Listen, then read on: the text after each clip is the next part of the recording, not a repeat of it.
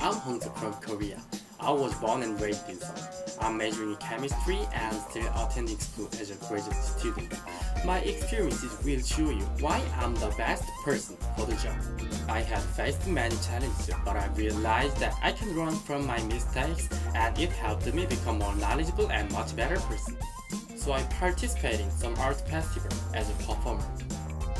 I finished my military service well. At the time, I learned how to survive during harsh circumstances, and I was able to obtain black belt in Taekwondo. I love traveling. I have been to some parts of Europe, Asia, and Middle East countries. I did some volunteers.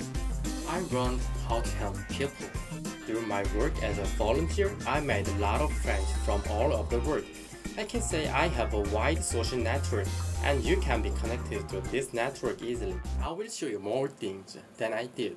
Could you give me a chance?